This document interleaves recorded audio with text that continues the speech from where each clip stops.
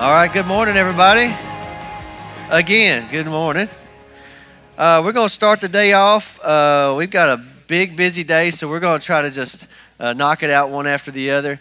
Um, we have some announcements this morning, so I'd like to go those. If you have an announcement, uh, Brother David, I think you said you had an announcement, Miss Leveda. Uh, you're already here. Come on, you go first, Miss Leveda. If you got an announcement, come on up. Mr. Terry, you got an announcement? Okay. All right. Hello. Good morning. Okay, I have two announcements, and the first being, if you're not aware, the the uh, services we record those and stream those through our YouTube channel. So follow us at Triple S Cowboy Church on YouTube. There's two Triple S accounts. The one that has our logo, and you see Brandon in all the videos. Follow us on that one, and follow us on Facebook because we'll put a link to that uh, Sunday message on Facebook. Plus, Brandon posts some really cool stuff during the week. That being said, the way that we uh, record those are through uh, cameras on iPhones on these uh, tripods here. So, as you mingle and do your thing, if you would please just have an awareness that those are there. If you bump them, it's no big deal. We can fix it. But just want to let you know that it's there, okay? And we appreciate everybody. Now, ladies, we are doing another Bible study from Debbie Stewart. And we did 20 minutes a day for the rest of your life. That is her calling. That is her um, mission statement they were talking about on Wednesday. And so this one is lessons that she has learned spending 20 minutes a day with God. And she has an interesting challenge I was reading this morning, and it said, if, you know, ladies, we've got these great Bible study tools that these amazing women of God have written, and we go through them and we fill in the blanks. But what, hap- what would happen if all of those books just fell off the face of the earth and you had to sit down with your Bible and a blank piece of paper? Would you know how to mine God's Word for the facts and His truth? Would you know how to pull those facts out? And would you know how to apply them to your life? And that's what this study is going to be about. And it's not just the study, but it's hanging out and doing life with a bunch of really cool ladies. Starts on October the 7th, 7th Saturday morning at 9 a.m. at Susie's Quilting Cabin. It will be the first and third Saturdays um, for four to six weeks. We, um, we kind of do it until everybody's good and and feels like that they have a good understanding of the book. So thank y'all. Amen. David, go ahead.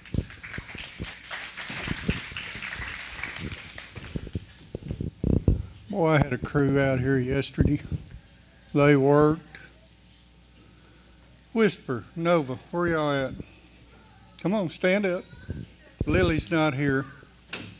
They picked up two laundry baskets full of rocks out of here, the Oh, wow. arena. Thank you, guys. Kay and Pat. Kay and Pat, they helped me mark the barrels, clean the barrels, the poles. Uh, Miguel, Miguel, even with a copperhead bite, he weed eated, cleaned. Uh, Randall, Willard, Mm. mowed. Uh, Ms. Levada, where'd you go? This woman, she took a timer that hadn't been used in 10 years and got it working. And if I'm missing anyone, I sweated all over.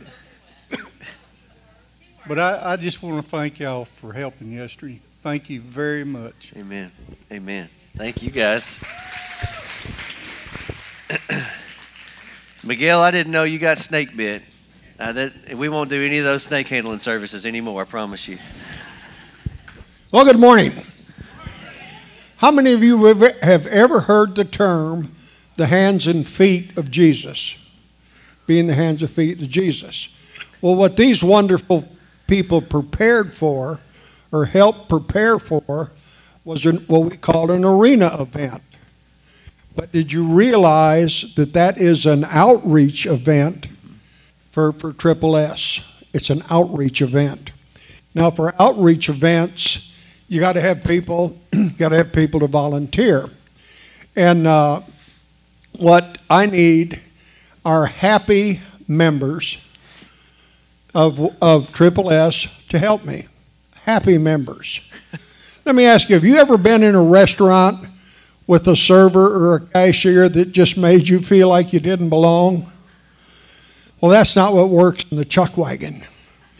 In the chuck wagon, happy people, happy people. that person comes up to the comes up to the window and you spill a little chili on your hand. If I spit a little chili, I'd say, "Oh, I wonder if that's hot as hell. God's good." Now I don't expect you to say that, okay? Uh, I don't expect you know. And whoever gets the table and the kid comes up and wants to do ketchup art on the table and you have to go out and clean it up, just let it remind you of the blood of Jesus and who you're serving. But for happy people to come up, people left you say, God bless you. Now we have a responsibility of feeding the tummy. But in an outreach event, we have a responsibility of feeding the soul. Amen. So if you get the opportunity to leave a gospel footprint, leave a gospel footprint. That is the goal uh, for the chuck wagon for this event. And we have a. Do you know that I enter my kitchens every morning with a joke? Busy people, busy people. So I have a whole slew of busy jokes. Do you know what you call a baby bee? He's a little humdinger. and every day we will have a good time. There's joy in Jesus. Amen. So I'm looking for volunteers, people that want to come and have fun. Uh, you got to be a member, and uh, we'll, we'll, assign you stations uh, to do things, and you're going to get to work with Deb. Uh, if you haven't ever been with Deb, you're going to really have a good time uh, to have a joke in there because she's so funny. So I'm asking, come be the hands and feet of Jesus Christ so that we can share the warmth and fellowship of Triple S and pray for God to give an opportunity to leave a gospel footprint for the Lord Jesus Christ. So, what I'm going to do now, Sally's in the nursery right now. After you finish eating, come to her, and if you're willing, just give her your name and your phone number. Then I will call you the first part of the week and tell you what stations are available and see what would you'd like to do. Uh, I only have so far one onion cutter. Okay? No, no, think about it. You're cutting onions, what's happened? You cry, but you're crying for joy because it's an event for Jesus. So there's, there's an upside to everything. So if you would consider having a good time on the 1st, the 15th, and 29th next month. Please see my wife. If you look back in the nursery, move over some, Sally. Yeah, move over. No, you move. Uh, okay, the really good looking lady, that mature lady back there is my wife. You can't miss her. She glows when she walks. Uh, so if you see a little light coming in here, she'll be over at our eating table. Before you go home, would you sign up, please? And you know what? God is good all the time. Amen. Do it again. One more time, brother. One more time. Let's get let's get some excitement. This is Sunday. Amen. This is a joyous day. And God is good. All the time. All the time. God is good. Now you can have time to eat. All right, brother. Thank you. Thank you. So we need some happy people on the Chuck Wagon team sign up after our uh, time of fellowship today. Brother Terry, uh, you are the announcement king, brother. If anybody needs an announcement done, you are the man to do it. Members, thank you. Yes, sir. Happy members.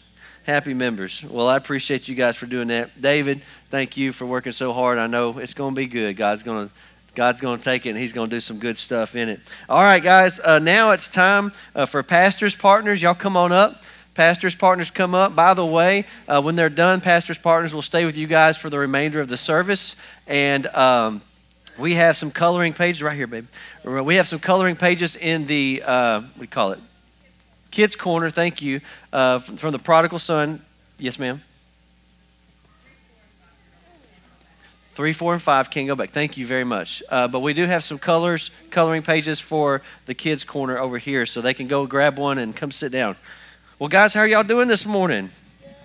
Good. Y'all looking so handsome and pretty this morning. You know what? Does it is it fun to dress up sometimes? Really nice. You know, I I just really never really liked to dress up when I was a kid. And I didn't like to do it at all. I like to stay in my play clothes all the time because it didn't no matter what clothes I had on, I play in them anyways. But I only got in trouble when I messed up my good clothes. Yeah? I didn't get in trouble when I messed up my play clothes, but I, you know, but sometimes we dress up really, really nice. And did you know that there are some restaurants that you have to have like a, a coat to even get in and eat there? Did you know that? Yeah, for real. They're like, really?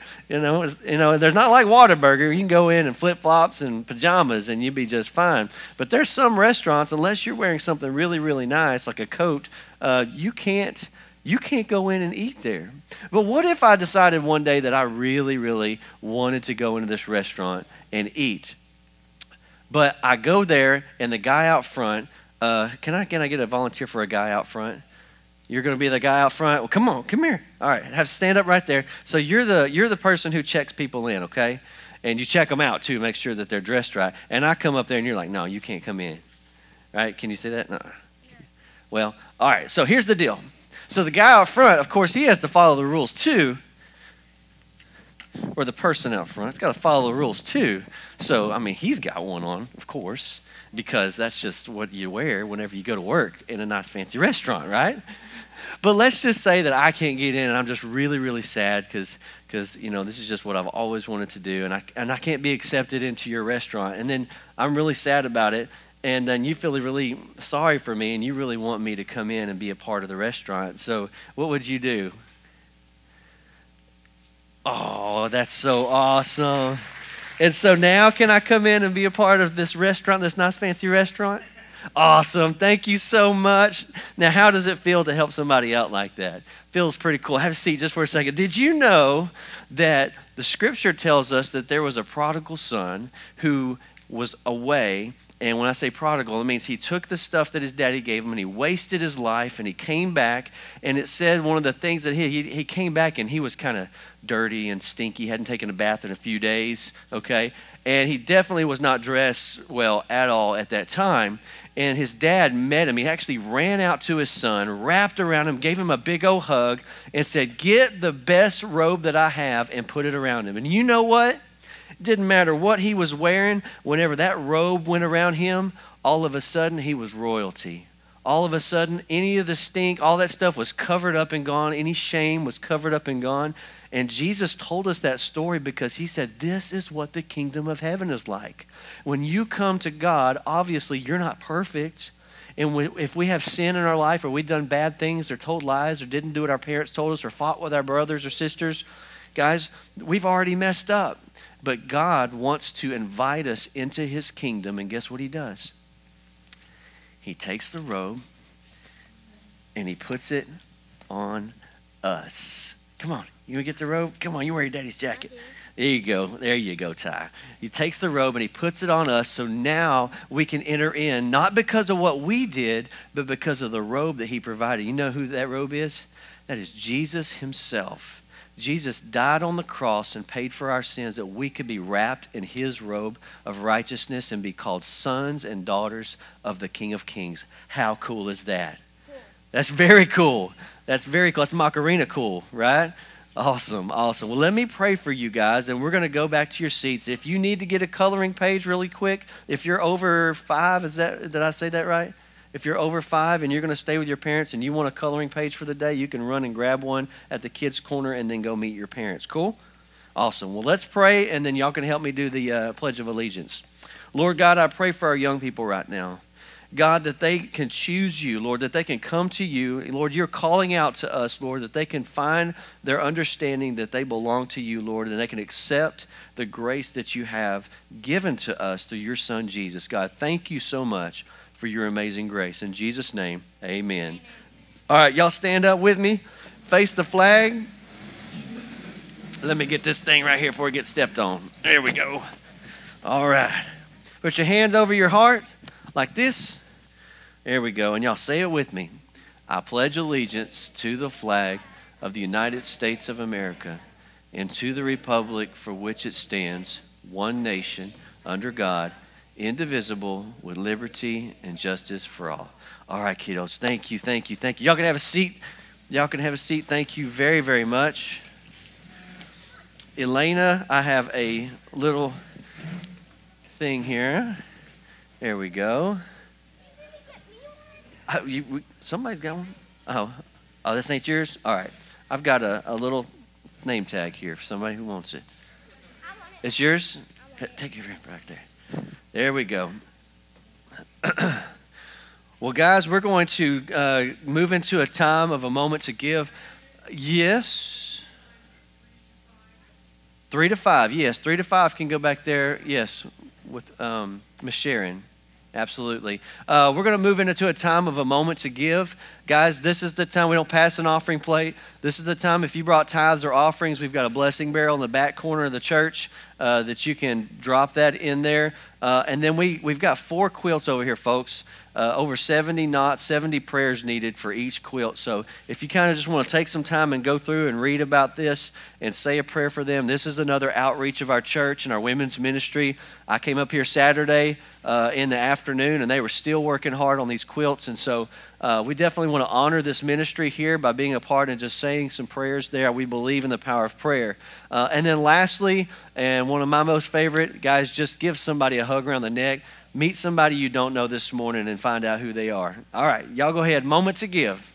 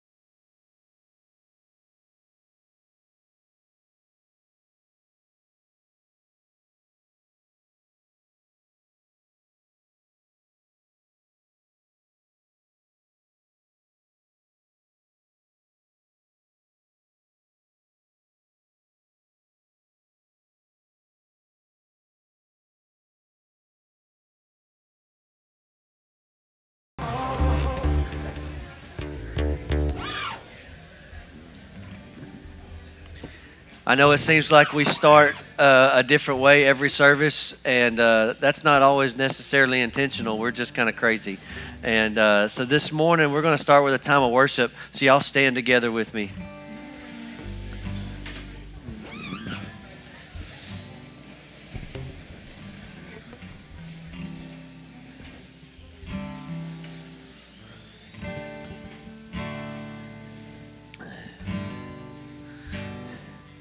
Guys, I just want to take a minute, uh, if we can. I don't like to rush into worship um, because worship is an organized prayer, a corporate prayer um, to our Lord and Savior. And so we know we can come boldly before the throne room of grace because His Word says so. So let's just take a moment. If you can, just close your eyes if you need to. And let's just kind of worship God in a just kind of our own way and just. Uh, just kind of bring ourselves and our minds to a place where we're understanding of what we're doing right now.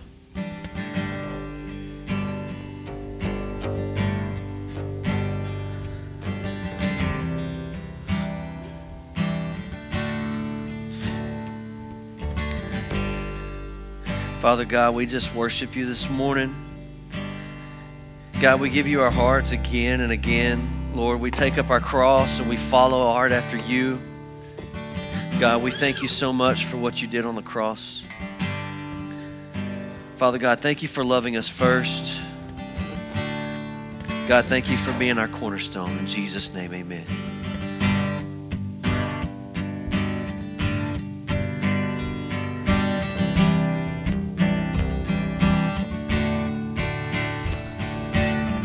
My hope is built on nothing less than Jesus' blood and righteousness. I dare not trust the sweetest frame, but wholly trust in Jesus' name. When darkness, when darkness seems to hide his face, I rest on his unchanging grace in every high and stormy gale. My anchor holds within the veil. Sing my anchor. Whoa, my anchor holds within the veil. He is Christ alone. He's cornerstone, weak made strong in the Savior's love He is Lord, He is Lord of all. When He shall come with trumpet sound, oh, may I then in Him be found. Dressed in His righteousness alone faultless to stand before the throne. Sing faultless. And faultless to stand before the throne. Cause he is Christ alone. He's cornerstone. Weak made strong in the Savior's love. And through the storm, he is the Lord is Lord of all. Again, because He is Christ alone. He's cornerstone, weak made strong in the Savior's love and through the storm. He is Lord, He is Lord of all. Let's give him a hand clap of praise this morning.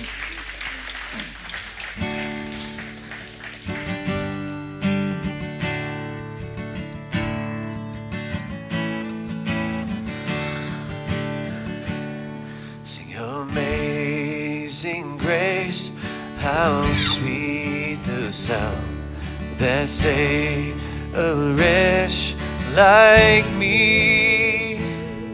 I once was lost, but now I'm found. Was blind, but now I see. 'Twas grace, 'twas grace that taught my heart to fear, my fears relieve. How precious did that grace appear the hour I first believed. My chains are gone, my chains are gone. I've been set free. My God, my Savior has ransomed me. And like a flood, His mercy rains, unending love, amazing grace. The Lord has promised good to me. His word, my hope secures. He will my shield and portion be as long as life endures. My chains are gone, my chains are gone. I've been set free. My God, my Savior has ransomed me. And like a flood, His mercy rains, unending love, amazing grace. Sing, my chains are gone, cause I've been set free. My God, my Savior has ransomed me, and like a flood, His mercy rains, unending love, amazing grace.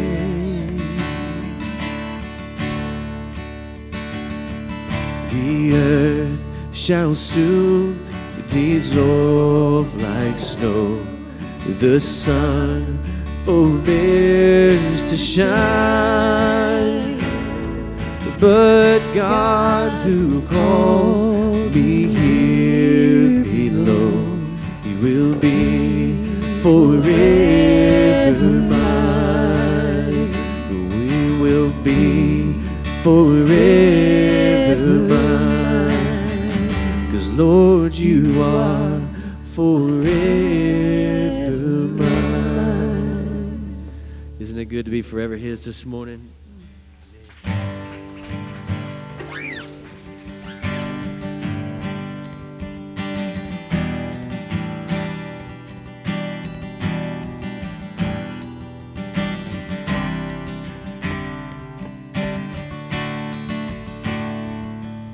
The splendor of the King, clothed in majesty. Let all the earth rejoice. Let all the earth rejoice. He wraps himself in light, and darkness tries to hide. Trembles at his voice, trembles at his voice. See how great is our God. Sing with me, how great is our God. And all will sing how great, how great is our God.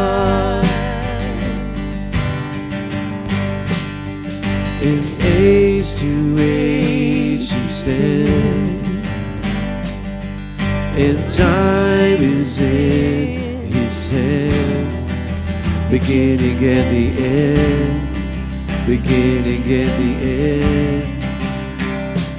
The Godhead three in one.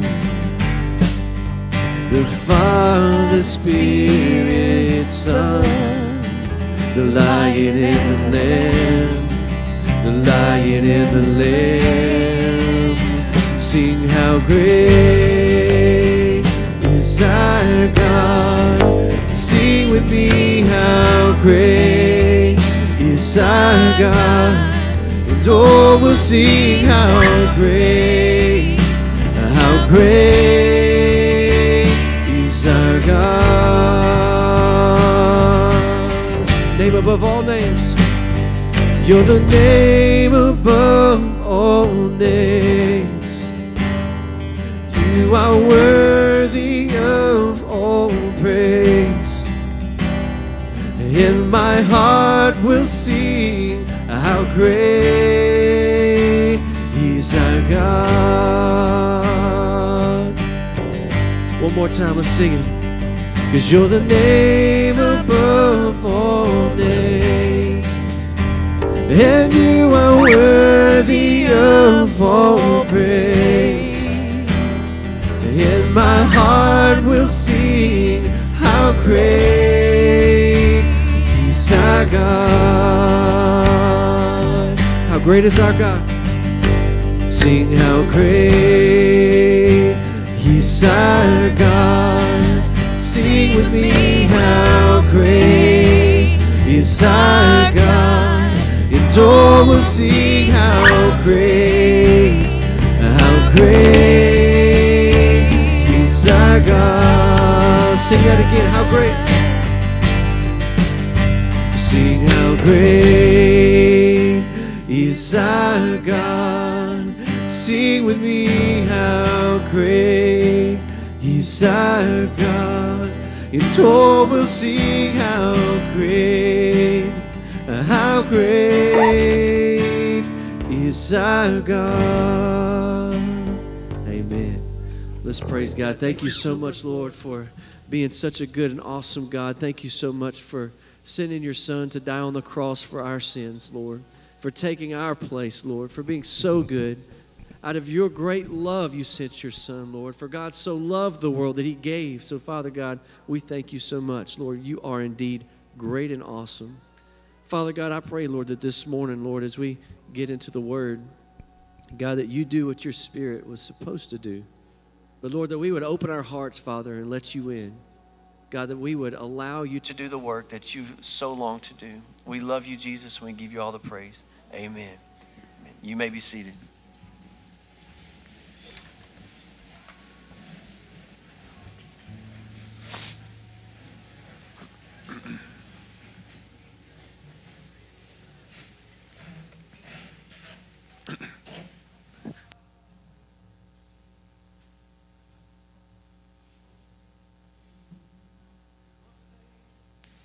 Well, it's good to see everybody this morning. Um, I'm hoping you guys have uh, have already started letting God do a work inside of you. And uh, how many of you say you're ready to ready for whatever the Lord has for you this morning? Amen. Where you come to the right place, um, because I believe God is wanting to do something uh, very special, and uh, I would really hate to see anybody leave here having an opportunity to be changed by the King of Kings and leave unscathed. Um, and I've done it a million times. Y'all know how it is. Um, but I've been praying a lot about this weekend, uh, about this uh, service this Sunday, and I believe God is going to do something really awesome. Um, I want to just jump uh, right on into it, but before I do, uh, I want to make sure that we welcome our guests. So we give a hand clap for our guests this morning. We are so glad that you are a part of our service today.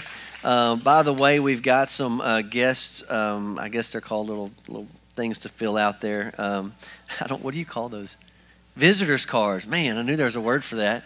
Visitors cards at your table. So if you would please fill one of those out, just leave it.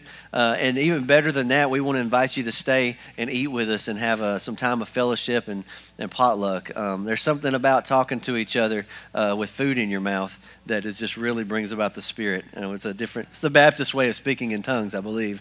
Um, but but there's something really good about it, and we want to invite you guys to do that. Also, um, Brother Terry and Brother Chuck, uh, they have been uh, working on uh, our onboarding process and have done a great job, phenomenal job.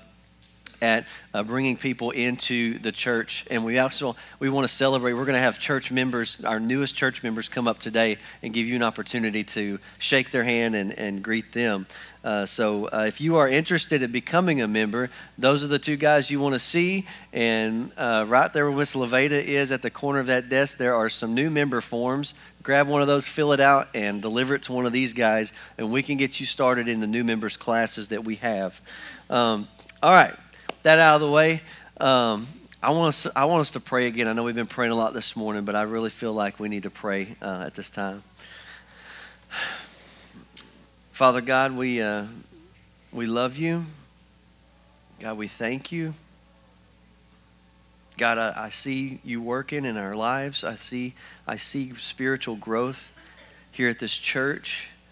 God, you're bringing in people and you are changing lives. And God, we are just uh, in awe of your work.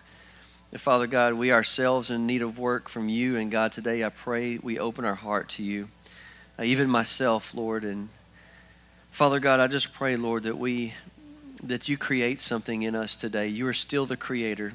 Lord, maybe some of us are looking back wishing we could have what we used to have, but Lord, you can create something new today. So, Lord, deepen our hearts and love and affections for you. And God, give us a clear image of your face this morning and what you have for us. God, help me to relay the message.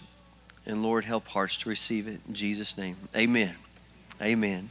Well, guys, I want to just jump right on into this. Um, give you a little recap from last week if you weren't able to make it, or maybe you just uh, ate some Mexican food and forgot everything previous. Um, I just want to kind of bring you back up to speed to where we are and how this fits into the sermon today. Last week, we traveled together through Genesis chapters 1 and 2, recalling the account of the making and early days of man and woman. Okay? Uh, the message was titled Playing with Purpose, and it helped us to understand that we don't, uh, that when we don't know the purpose of a thing, uh, or when we use something outside of its original design, we are very likely to abuse it and even break it. Okay? We're, we're in the context, we're talking about our lives excuse me, we're talking about our families. So when we don't operate by our God given design or we don't operate by our God given purpose and we use us, we use our families, or we just meander on through life with our families without being involved in God's design and purpose, then we're likely to abuse and break our families even. This is why I believe we have so many broken people, and this is one reason for broken homes. Uh, by the way, homes don't have to be split up to have brokenness on the inside. Uh, but we have realized also that God Himself designed us and family with purpose. And Wednesday nights, we've been focusing on family ID. This next Wednesday is going to be the last lesson of this four lesson segment. And if you have missed it and said, you know what, I've missed it or I missed a couple days, or maybe you've gone through it and says, I really need to go through this again because there's just a lot to it. Guys, we want to invite you to come, not this Wednesday, but the following. We're going to start all the way over from lesson one, and we're going to do it again. This time we're going to have some child care. So if you or a family that you know that has children that need some help, uh, just have a place for the kids while you come and talk about your family identity, we want to help you in that, guys. This is a, extremely important because if the devil can break down the leadership and the families, then he can break down our country. He can break down whatever he wants to. Amen? Because this is where God designed it. He brought it in with Adam and Eve. We're, um, let me just read my notes here for a second. Um, God has this purpose and this design for us. And if you know anything about purpose and design, if it's being used within the confines of the Creator's purpose, reason for it, then it does what it's supposed to do. I remember one time uh, we got James a, uh, a, an airplane, like a little, like one of those little mini helicopter kind of deals uh, for Christmas, and uh, he was really really young, and he wanted to use it like he did any of his other toys that didn't have a remote control and batteries. And he was just, you know, going around and doing things. But if he only knew the capacity this thing had, where he could just push this little button on a remote control and see this thing fly on its own, right? But we do this with our lives so many times. We'll grab a hold of our families and we'll just, we'll go around and we'll play with this thing the best we know how, not realizing the capacity that if we would just do it according to what God has, we could fly. Amen. We could do things that we never thought we could do. We could be a part of God's work that we never thought that we could have. And if we're living in self preservation and survival mode, hunkering and bunkering down, when God's way offers dominion, capacity to subdue, and to cultivate and, and, pro, and produce a harvest for God's glory. So many times we live our life in self preservation mode. And when we do that, we're playing defense. When God is asking us as His children to be offensive players for His kingdom. So the question must arise how, do we go, how did we go from having God ordained dominion to being dominated by the world? How, did, how are we so fooled and bamboozled? I like that word. And, and, to, and to just kind of going with the flow. And then all of a sudden you're reading scripture and you're being challenged in your family ID and, and purpose and everything. And then we're thinking with just a huge question marks over our head of like, how did we get here? And how in the world do we go back? How do we get to the place where we're supposed to be in our families? And how do I get where I'm supposed to be as a man when I've drifted so far, unbeknownst to me, I just doing the best I knew how, doing right in my own eyes, and grading myself on a curve with the rest of the world. Do we do that sometimes?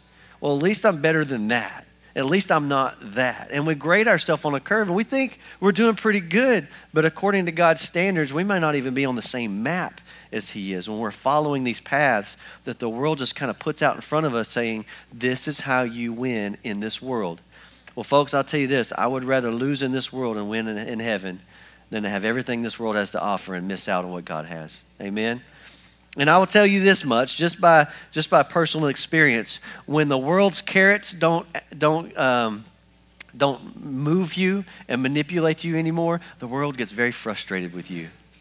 When you don't have an appetite for their carrots anymore, they get mighty frustrated because they can't manipulate you the way they do anybody else. Another dollar sign, another promotion, another this and that. Uh, when, my, when everything that I get is fulfilled from the King of Kings, they don't have any control over me anymore. That's a good place to be, is it not? Amen. Amen. So we have these questions like how do we how do we go from this place of dominion to being dominated? How how do we go from God-given design to multiply to living lives of individuality and selfishness where we don't multiply at all? If we were to ever how would we ever respond reverse excuse me this process and where would we start? Well, I'm hoping I can help us answer these questions this morning. So excuse me, turn with me back to Genesis 1 I want to give you a brief uh, picture here, and then we're going to move right into Genesis chapter 3. Hmm. Genesis chapter 1, I'm going to start in verse 26. I'm going to quickly read. We've got a lot of reading today. Genesis 1, ch- uh, chapters 26 through 31. 26 says, Then God said, Let us make man in our image, according to our likeness let them have dominion over the fish of the sea, the birds of the air, and over the cattle, over all the earth, and over every creeping thing that creeps on the earth. So God created man in his own image. In the image of God, he created him. Male and female, he created them. Verse 28 says, Then God blessed them, and God said to them, Be fruitful and multiply, fill the earth and subdue it have dominion over the fish of the sea, over the birds of the air, over every living thing that moves on the earth. Verse 29 And God said, See, I have given you every herb that yields seed, which is on the face of all the earth, and every tree whose fruit yields seeds. Uh, to you it shall be for food. Also, to every beast of the earth, to every bird of the air, and to every, everything that creeps on the earth in which there is life, I have given every green herb for food, and it was so. Then God saw everything that he had made, and indeed it was very good. So the evening and the morning were of the sixth day. Guys, so we have to identify relationship, purpose, blessing, order. We don't ever have to worry about clothes. Guys, this is what we had. We had this relationship. We had a purpose. I mean, it was fresh. It was blessed. we didn't have to wear clothes. No clothes. Ever. What am I wearing Sunday? Same thing I'm wearing next Sunday. Same thing I was born with, right? Same thing I was born with. This is just the way it was. It was innocent, it was pure, and that's what we had in God. God saw everything that He had made, and indeed, He says here that it was very good, okay? Up until this point, He has not said very good. It's always been, He created this, and there was light, and it was what? It was good. Created this and he created man it's good. And then he said well it's not good the man to be alone. And the very last thing that was created would come from the rib of adam and who was it? Okay all i'm going to say is all i'm going to say is do you know uh, the single added component to god's creation that saw it from good to very good no joke was a creation of women. Amen. Man you got to better chime in better than that all i'm saying all right Guys, I can load the bases for you, but you got to get up here and swing, okay? All right? I mean, it went from good to very good, and the, and the only difference there was was women was on the scene. Amen? Hey, there we go. Oh, oh, man, it's good. All right? My goodness, you guys. Whew.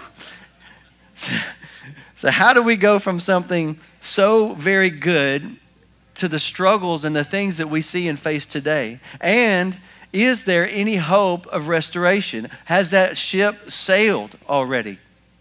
Let's turn to Genesis chapter 3. It's going to answer the first question how we got here. Genesis chapter 3 starts off with three words. Everything is good, everything's hunky dory, purpose, life, relationship with God. I mean, they're walking and talking with God, and they're, I mean, just God made paradise. And here we go, are in, in chapter 3, verse 1. The first three words is now the serpent. Mm. Have you ever had a good day, a really good day, and then here comes the serpent? Now the serpent was more cunning than any beast of the field which the Lord God had made. And he said to the woman, don't, don't miss this, not God, but the serpent says, He said to the woman, God has in has God indeed said. Now you need to underline this. Underline he said, we're talking about the serpent, and underline has God indeed said. You shall not eat of the of every tree of the garden. Okay? He's saying, has God not said has God said that you can't eat of any tree of the garden? In verse 2, a response was, And the woman said to the serpent, We may eat the fruit of the trees of the garden, but the fruit of the tree which is in the midst of the garden, God has said, You shall not eat it, nor shall you touch it, oh, lest you die. Now we got to pause here. Where did Eve hear the command not to eat of the tree of the knowledge of good and evil? From Adam, right? So God told Adam, You're not supposed don't eat, you know, eat of the trees, but don't eat of that tree. Okay? Lest you die. That's what he said to Adam. But Eve just said, Don't even touch it, or you're going to die, right? So either Eve is expounded upon the commandment to the serpent, or Adam is expounded upon the command to Eve, right? One of the two had to have happened. And I could just kind of see this, right? Adam and Eve are out there talking, and he's kind of showing her around a little bit. And Adam says, God said, Do not eat of that tree. And Eve looks at that tree, and man, it's a beautiful tree. And just her eyes just light up, you know. Say, You mean that beautiful tree? The one that's good for food and pleasant to the eyes, and a tree desirable to make one wise? You know? And Adam's like, Eve, look at me. Look at me. Don't eat of that tree. Don't even touch it. Don't even touch it, or you're going to die right? Uh, I could kind of see that happening. He's like, okay, don't eat it, don't touch it, don't eat it, don't touch it, don't eat it, don't touch it. And so I don't know which one happened. I don't know if Eve did that or Adam. I'm kind of thinking Adam kind of put a little extra on it, just to make sure that we don't get nowhere near that tree, you know? And so, guys, this is so important because I, I want you to make sure that you understand this that, that Adam was told the command. Adam told Eve, Men, we have a responsibility to be leaders in our home. It's not the woman's job to lead spiritually. If she has to, she will. But men, this is on us. We have a job to step up as men, to be leaders, spiritual leaders in our home And we need to get close to God so that we can hear what He has to say. Amen? And then we need to do a good job of what Scripture says washing with the water of the Word with our wives. And so Adam tells Eve this. Eve's telling the serpent. Verse 4 Then the serpent said to the woman, You will not surely die. For God knows that in the day you eat of it, your eyes will be opened and you will be like God. Boy, that's tempting, is it not? Knowing good and evil. And I could just hear somebody saying something like that and then just ringing out, You will be like God you will be like God. Doesn't matter how, I'll be more like God. Verse 6 says So when the woman saw that the tree was good for food, and that it was pleasant to the eyes, and a tree desirable to make one wise, she took of its fruit and ate. And she also gave to her husband with her, and he ate. He said that he was with her, was he not? Hmm. So it's not like she snuck out and did this on her own. He was with her. Guys, let me tell you something. One of the worst things that could ever happen in our marriage and relationships is that we become passive men and let Satan do what he wants to do and just stand by and watch. Amen? Sometimes we just got to step up and man up and protect our families from the things that Satan is trying to bring into our homes. And guys, that might even mean a fight, right? But we have got to step up and see what Satan is trying to do in our homes to tear us apart from that design and that purpose and say, and be the person to step up and say, guys, we got to get this right. We may not even know exactly what right means, but we have got to do something different than we're doing right now. Amen? Something's got to change in order for us to get back into this sweet spot where God wants us to be in our home. Verse 7 says, Then the eyes of both of them were open, and they knew that they were naked, and they sewed fig leaves together and made themselves coverings. So let's look at the series of events thus far. God creates paradise, God creates man and introduces man to God's paradise. God gives man purpose, blessing, dominion, unbroken relationship with himself. Then Satan comes and immediately makes Eve Eve question God's word and his character. Man and woman both are deceived, and shame meets mankind for the first time. Everybody, look at your neighbor and go, Shame, shame.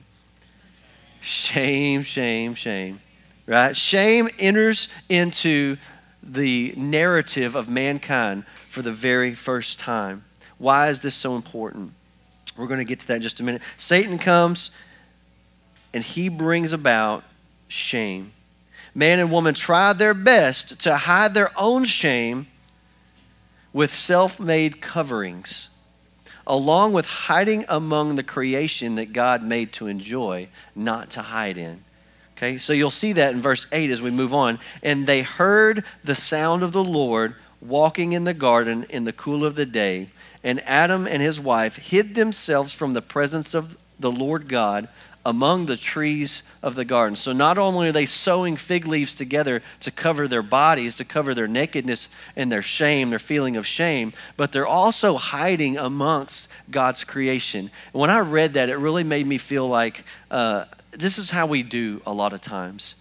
Guys, I love getting to be your pastor and I'm hearing so many things about small groups come in and people getting close and sharing our struggles and really holding each other accountable. Uh, but there's, there's another thing that happens in churches a lot of times. This is where we come and we put on our face, right? This is where we come and we don't want you to know about what just happened at the house or what just happened in the car before we got here, right? Those are shameful situations. These are places where I feel like I have failed as a man or failed as a family. And I, I really don't want to let you in on those things, right? And so I feel shame because I know there's an ideal up here, but I'm not hitting that ideal, you know? And so therefore, I'm going to cover myself the best I can. I can do it with a smile right? I could do it with just a little bit of distance from people. But another thing that we tend to do, especially in religion, I'm not talking about relationship, I'm talking about religion, is we will come to church and we will hide among God's creation right? Not only will we cover ourselves, but we'll hide ourselves amongst the living, thinking that if I could just hide behind these other trees and leaves, then I'm going to be seen as okay too, right?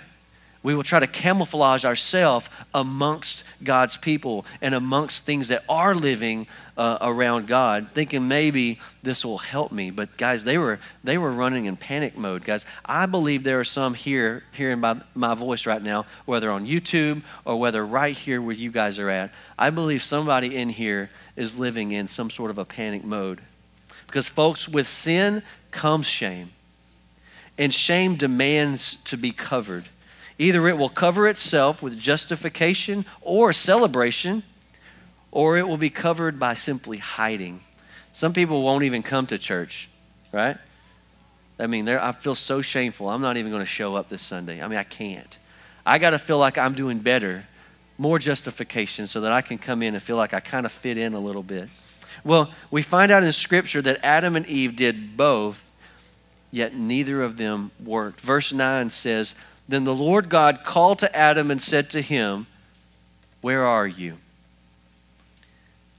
So he said, I heard your voice in the garden, and I was afraid because I was naked and I hid myself. And scripture tells us that perfect love or perfected love cast out all fear. Okay? So that's, that's like a, a nugget you can take from Scripture. That is a biblical truth. Perfect love cast out all fear. Right here, for the very first time, man feels afraid of the very God who created him. Amen? Have you ever had somebody say, Don't worry about it, I changed your diapers when you were younger? You know what I mean? It's kind of like that. Like, I know you. I knew you were naked. I kind of made you that way. You know? He said, I was afraid because I was naked and I hid myself. Verse 11, and he said, Who told you you were naked? Have you eaten from the tree of which I commanded you that you should not eat? Then man said, The woman you gave to be with me, she gave me of the tree, and I ate it. And the Lord said to the woman, What is this you have done? She said, Well, the serpent deceived me, and I ate. So you see how we're going to pass the buck here? Verse 14. So the Lord God said to the serpent, Because you have done this, you are cursed more than all the cattle, and more than every beast of the field. On your belly you shall go, and you shall eat dust the rest of your life. And I will put enmity between you and the woman, and between your seed and her seed. That's the seed, capital S, should be in your Bible. That is speaking of Christ. And he, Jesus, shall bruise your head, Satan, and you shall bruise his heel. To the woman, he said, I will greatly multiply your sorrow and your conception. In pain, you shall bring forth children. All the ladies said, Oh, Eve, man, your desire shall be for your husband, and you shall, he shall rule over you. Verse 17. Then to Adam he said, Because you have heeded the voice of your wife and have eaten from the tree of which I commanded you, saying, You shall eat of it, cursed is the ground for your sake. In toil you shall eat of it all the days of your life. Both thorns and thistles it shall bring forth for you, and you shall eat of the herb of the field. And the sweat of your face you shall eat bread till you return to the ground. For out of it you were taken, and from dust you are, and to dust you shall return. Basically, he said what our mamas have probably said in our life said, Son, I brought you into this world, and I can take you out. All right? That's what I'm hearing right there. Verse 20, and so Adam called his wife Eve because she was the mother of all living. Let's, let's stop right there for just a moment. One of the greatest delusions of all of time is to think and to live like sin and disobedience will be without consequence. God will not be mocked, he says. Whatsoever a man sows, that he will reap. You see, we live in a world today where we can do all kinds of things that are sinful and we have medication to take care of the consequences, right? We, we have just, as a society, just kind of been very, very uh, accommodating to sin, right? You can do this and you can live like this and you can call yourself this and we're going to celebrate you and we are going to accept this and we are going to do everything we can in our power to take away the consequences of your sin. But guess what? God says no he will not be mocked. Whatsoever a man sows that he's going to reap. I can't take my family down the path of vain religion mixed with secular worldview and expect the blessings that come with humble submission in God's way. I'm going to say that again. I cannot take my family down the path of what I believe is right and what, is, what the world tells me is right and expect the blessings of this path that God said that this were, de- were designated for. I can't expect both at the same time. But this is what we ask for. No matter how much I try to play God, I cannot create paradise for my family, and I can't even create it for myself. Anybody tried to do that? I mean, we got money in America, right? We're one of the richest nations in the world. If anybody's going to try to create paradise, it's going to be us. I mean, we're going to just buy everything that we can to make it most garden like. You know why we do that? Because deep down inside of every human soul, we long for the garden. We were meant for the garden. We long for heaven. We were meant for heaven. And so, everything that we do, all this toiling and things that we do now, we are trying our best to replicate with everything that we've got what we had and what we had lost. So now instead of God giving it to us, we got to work for it. Let me tell you something. The best things that I ever received in life, I didn't have to work for. God gave me as a gift, starting with his son, Jesus Christ. Amen.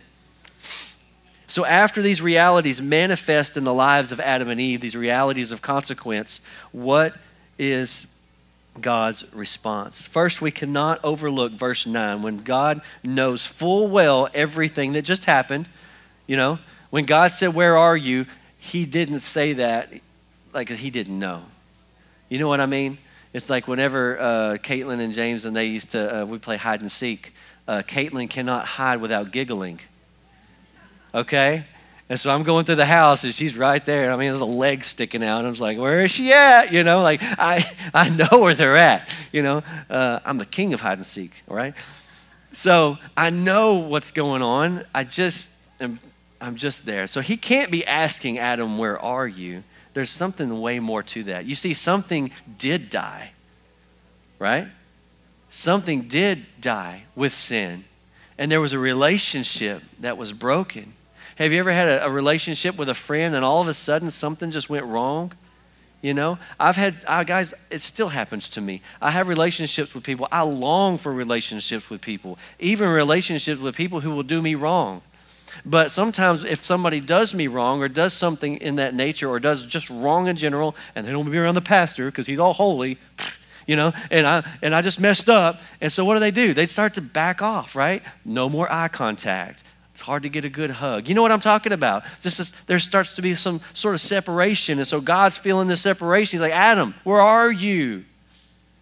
I know what we're meant to have, and it's not there. Right? something happened. So God knows full well everything that happened, and He knows about the temptation, He knows about the sin, and He knows about the shame. Yet He calls out for us with this question Where are you? Folks, I want, I want that question to ring out in your, in your life today. If God was walking through the garden, and we hide because that's what we do, and He was to ask you truly, Where are you today? what would your answer be? Most likely it would sound like this God, I'm hiding. God, this knowledge has opened my eyes, but though I'm surrounded by beauty, all I can see is my own nakedness and shame. I'm not tilling anymore. I'm not tending the garden like I should. I'm not naming like I was designed to. I'm not multiplying. I'm reduced to hiding and shame. So sin isn't just one issue. Sin will take, take you down, but it's the shame that tells you to stay down, boy. Right? Sin will, sin will take you to a bad place, but shame will keep you there. Will it not? Anybody follow me? Am I preaching this morning? Shame will say, stay. Shame will say, you can't get back up. I'll knock you back down again. Guys, this is the scheme of the serpent. It's to deceive you to tempt you into sin. And then as soon as you do, he's the first one to point his finger and say, Aha! Right? He's the accuser of man. That's his job. He'll lie to you and then he'll accuse you. How do you know when Satan's lying?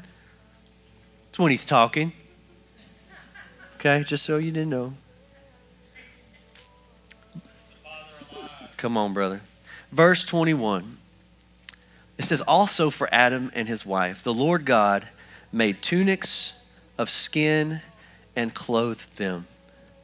Why tunics of skin? I mean, why not just stick to what Adam and Eve had done for themselves for coverings? You know, why not go the vegetarian route? You know? I mean, there's lots of leaves out there, obviously, palm trees. There's all kind of things that he could have clothed them with. But we're, he said, out of tunics of skin, he made clothing, and he clothed them. Because the devil was wrong when he talked to Eve, you will not surely die. Sin always equals death. Romans 6:23 says, "For the wages of sin is death."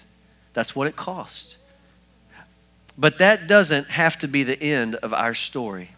Because 2 Peter 3 9 says, The Lord is not slack concerning his promise, as some count slackness, but is longsuffering toward us, not willing that any should perish, but that all should come to repentance. Amen? God doesn't want any of us to perish but he wants us all to come into repentance. And Romans 6:23 says, "For the wages of sin is death, but the gift of God is eternal life in Christ Jesus our Lord."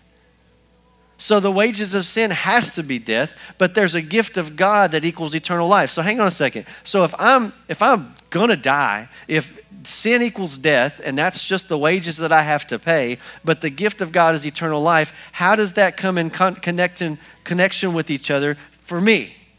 Yeah, Christ, Christ equals, equals uh, eternal security, right? It equals uh, salvation.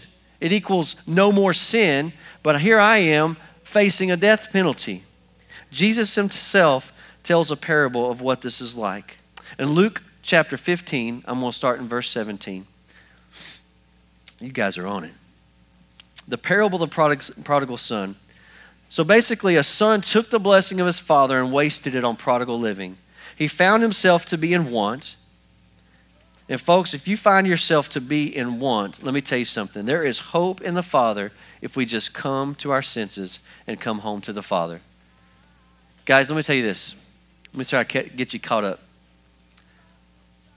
my family and I, we have done the best that we know how. We've been in church. Brandy and I, we started out our relationship not in God, but I got saved and then she got saved, and we're just we're just two American kids trying to figure out how to do life, right? So we're like, well, we're supposed to go to church. That's just what you do, right? We're supposed to get a house. We're supposed to get a car. Supposed to get a dog, you know supposed to have kids, right? Supposed to do all these things. And so we were just going down the checklist. Okay, got the house, got the dog, got the car, you know, uh, and we're just trying to fill all the check boxes. And guys, we're just doing the best we can. And even then, when we came to Christ and we're in the American church as American kids following the American dream, we, we take the American church and the American dream and we bring it into what God's real reality of, of life is. And then we started feeling the tension. I started seeing where I was really missing something. And for those of you who have the Spirit inside of you, for those of you who have the Spirit of God inside of you, let me tell you something. You can't walk in darkness and be cool with it. There's going to be something inside of you goes, man, there's just something missing. There's just something that's not right. Even though the world says that this is the ideal and people actually look up to you and support it and celebrate, you're like, there is something going on that is just not right. And so we end up being, spiritually speaking, should be in want. Be in this place of like, I've messed up somewhere. There's a path, and somehow I took the wrong one. Have you ever done that before? Yeah, I've, I've done that before. You get two hours down that road and like, this doesn't seem right. This is for Google Maps, by the way. This is when you have MapQuest. Y'all know MapQuest where you got your seven pages? Okay, you're supposed to take, oh my gosh, you missed step 16 something's not right. And guys, I, I think that's kind of where we're at as a church, just as individuals. I believe you guys have the Holy Spirit inside of you, and something is going, something's not right. I keep doing what the world tells me to do, and the outcome is not good. It's just not good. I'm frustrated. I'm, I'm, I'm angry at the situation. Our family's breaking apart.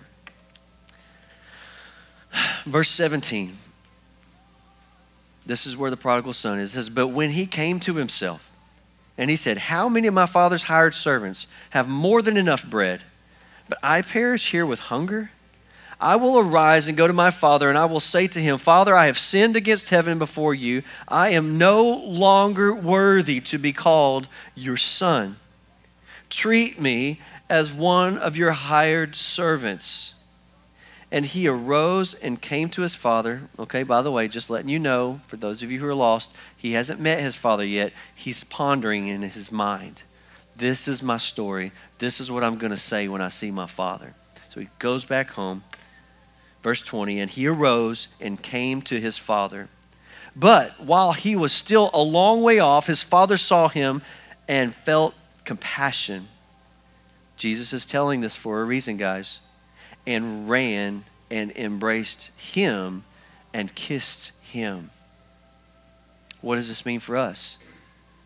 This means if we went off the wrong path, then the game is not over. I want you to hear me again. If you've gone on the wrong path, whether you're a mile down that road or you just started and made, a few slip ups, don't matter. If you've gone on the wrong path, the story's not over because he came and while he was even still a long way off, guess what? God didn't say, Oh boy, I guess you're going to tuck tail and come back home, ain't you? You couldn't make it, could you? That's what you get for walking that way. Now, come on. That's what we think God does. I mean, really and truly, that's how we approach God so many times. I've got so much shame. Oh, yes, I will crawl up to you and kiss your feet. Right? Maybe you can I can be a servant. And that's how we approach God. But Jesus saying, No, no, no, no. That's not how it goes. See, how it really goes is when you decide to come back home and repent, and that first step happens, He sees you from a long way off, and God runs to you. I couldn't go to heaven and plead my case before God, but Jesus came to earth and He bled it for me. He bled my case.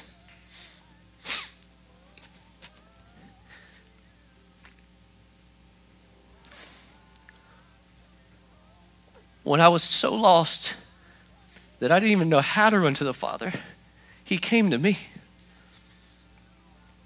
Scripture says that there is no one too far where my arm cannot reach you.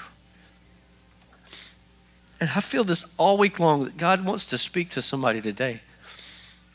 Because somebody needs to come home. It said he ran to his son and his father saw him and felt compassion. And he was still a long way off. Sorry, I can't see I can't see my words. He saw his father saw him and felt compassion and ran and embraced him and kissed him and said to us he said the son said to him, "Father, I have sinned against heaven and before you. I am no longer worthy to be called your son." That's what the son said. But the father said to his servants, Quickly, bring out the best robe and put it on him, and put a ring on his hand and shoes on his feet, and bring the fatted calf and kill it, and let us eat and celebrate. For this was my son was dead and is alive again. He was lost and is found, and they began to celebrate. Folks, there ain't nothing to look forward to whenever you turn back to God except celebration, no longer shame. No longer shame. As soon as you come to the Father, He is going to take that robe of righteousness. It don't matter what you smell like, what you look like, and He's going to take that thing and He's going to wrap it around you because that's who you really are. You've just walked right back into your purpose that you felt like you lost so long ago, and immediately God restores that which Satan has deceived. Immediately there's restoration, folks. We don't have to go through a process of being good for so many long times and, and not sin this many times. And, and guys, it happens with the robe, it doesn't happen with you. We're the ones that are broken. He's the one who's the healer. Amen? All we have to do is be broken. All we have to do is come to Him and recognize our need for Him, and He takes us. And I love this story because I thought He was going to accept me as a servant. Maybe I could work my way back up. I thought that. But He came and said, No, no, no, you are a son. I have adopted you, you are mine. Immediately the robe, and it's the ring that says, This is a family ring, this is where you are, and sandals on his feet that says, You got a new way of walking now. Now you're on that right path. How many of you need a new pair of shoes this morning? I need a new pair of shoes. This was my son, and he's dead, now he's alive. He was lost and is found, and they began to celebrate. Well, can I tell you something this morning? This is a really cool day to have a potluck because the fatted calf has already been killed. Amen. Or the fattened chickens, whatever the case may be. But they already got, they're already in the cooker. All right. The party is already prepared. Folks, I am ready to celebrate with lost sons, lost daughters, and lost families coming home today. Amen. I believe today is the day that we can repent. Guys, it's so easy. You know what it means? It means I'm just going to change my mind. I'm going to change my mind and say, you know what? I'm going to come to the Father and I'm going to see what God can do. That's all I'm saying. This is what repentance is. I'm going to recognize that I'm not going on the right way. I'm going to come back towards God, and God is going to meet me there, folks. There is joy in repentance, there is hope in turning around and going back to God. But, folks, we have to come to our senses. This is where it all started with the prodigal son. Am I not right? It all started in that place. He goes, I'm kind of sick of being here. How many of you are just kind of, I'm sick of the way it's going? You know, I'm just kind of, I'm just, oh, I just, there's got to be a better way than this. And this is the only thing. We've got to come to that place where we at least see our lives through God's eyes and go, how's that working for you? You know, you want to keep going down this route? You don't have to. I ask people that all the time at Hope Station. They did drugs and did this alcohol and street life for so long, and man, I want to get out of that. But as soon as I start to challenge them on the way they think, they're like, no, no, no, I've always done it this way. And I'm like, hmm, how's that working for you, boss? I can show you a new way. I'm willing to invest in you. I'm going to walk with you. I'm going to pay the price that it takes for you to get from here to here. That's what I'm willing to do. That's what God is willing to do for you and me today. But today we have to make a choice. Either we become prideful and sit in our own need, or we come to ourselves and we come home to the Father. Today, will you accept the embrace of the Father? Not tomorrow, not next week. I'm wanting to know if you're really willing to do something today embrace the Father. I don't care if you're lost as a goose and you've never embraced Him at all, ever, or maybe you are somebody who has embraced God, but you've run away for a little while. I don't think there's anybody in here that doesn't have that story. Amen? You're in good company. We're all in need of a Savior in one way or the other. So today, will you accept the robe of righteousness that covers all your sin? And more importantly, to me, it seems like my shame. It's the thing that says, stay down. I believe God told me to preach this message today because someone needs to come home. Let me tell you something. Tuesday night, last Tuesday night, 1230, this sermon came to mind and I just really started to, to type it out. And from 1230 to 4 o'clock, I just got it done. It's like, thank you, Jesus. Now I can get two hours sleep. And um, I've learned that when God gets you up, you just get up. So I did it, and I closed the computer, and I go back to sleep uh, for just a couple hours. And then the next day, I'm like, you know what? I'm just going to go polish on this. I was really sleepy when I wrote this. There's no telling, you know? Um, and I opened it up, and it's gone. And so yesterday, I'm rewriting the sermon. But the whole time, it changed directions just ever so slightly. And I believe with all of my heart, with all of my heart, that somebody needs to be saved today. I believe with all of my heart that somebody needs to come home to the Father today. And guess what? There ain't no shame in that. Actually, there's no more shame in that because of what Christ has done. So I've got a question for you. And the question is Adam, where are you? That's the call from God. That's the literal call from God. And He's asking you right now, Adam, where are you? will you, what will you answer him? Sometimes uh, I ask for you to close your eyes and bow your heads, but today I'm going to ask you to do something different. I'm going to ask you with your eyes wide open. I'm going to ask you a couple questions. Number one, if you're in need, if your family's in need, and you desire to come to the Father today, you say, you know what? We've been on the wrong path, or we're, we're just trying to figure this out, and I want to take a step towards home. Whether it's you personally, with you know this about your family. Can I just see a hand raised if that's you? Say, I need to come home today. Amen. I know it. I know it. If you need the robe of righteousness to cover sin and shame today, if you said, I did carry shame in here, and it's keeping me from that rock solid relationship with my Father, would you raise your hand with me this morning? Amen. Amen. Folks, if you've seen any hands go up, then God's word is true and God's purpose is going to remain this morning. Amen. Can we celebrate with God this morning about, about God's goodness in his life? Amen. Amen. Listen, folks, this is what I want to do. And I know I'm getting a little crazy out here. This is but I'm going to tell you something. The most adventurous thing I've ever done in my life was follow God. Right? The most adventurous thing. And this is what I'd like to do. Maybe you didn't raise your hand just then because you were scared. I've been there too. Okay? But I'm going to tell you something. Today is your opportunity to come home. I'm not saying you're not saved. Maybe somebody needs to get saved today. That's fine. That's perfect. Amen. But maybe you need to rededicate your life to, to God. Turn around and say, you know what? Me and my family got to start heading back the right way. And it's going to start on that journey home. And you're going to find God right where He was. Amen. Matter of fact, he's going to run to you. So if you raised your hand earlier, this is what I'd like for you to do. I want to pray for you. Elders of the church, could y'all come down here? Elders, Brandon, can I get you to come down? Brother James, come on. We got anybody else here that elders?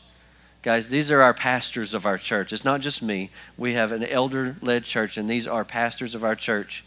And there ain't nothing more than we'd like to do than to usher you back to the Father's house. Amen?